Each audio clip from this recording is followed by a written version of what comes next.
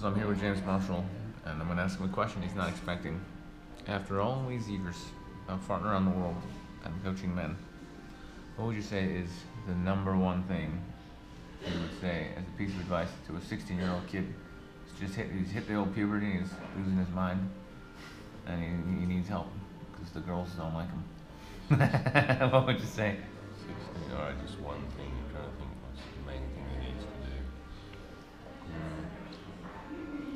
Several things he shouldn't. Uh, because what he should do is tell girls what he thinks, but he definitely shouldn't write them poems or write them any songs. So you should just tell them in a way that's not. Don't try and be romantic, but just tell them and try to try to touch them, their boobs as quickly So- as possible. so all you guys out there who are 16 year, years old and you don't know what to do, Don't tell girls you like them while trying to touch their boobies while not writing romantic poetry.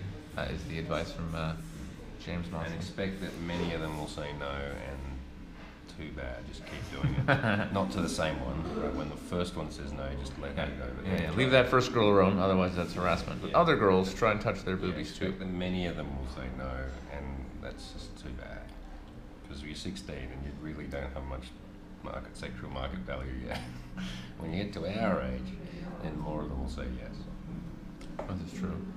Um, yeah, I can only imagine what my life would have been like if I had just told girls, "Hey, I like you. You're really cute," and then just done nothing else. Because some of them would be looking over at me and they would have liked me, and those are the ones that would have gone over and tried to touch their boobies. But if they never, if they act a bit weird and they never look at you after that, don't try and touch their boobies. That wouldn't work out. Would it, James? I think we, and that's good I was- I think we made that clear was that was kind of a public service announcement It was, yeah, yeah, yeah. Mention that in the future on the, on the for all those sixteen year olds out there, tell the girl you like her, try to touch her boobs. if she says no, try again with a different girl.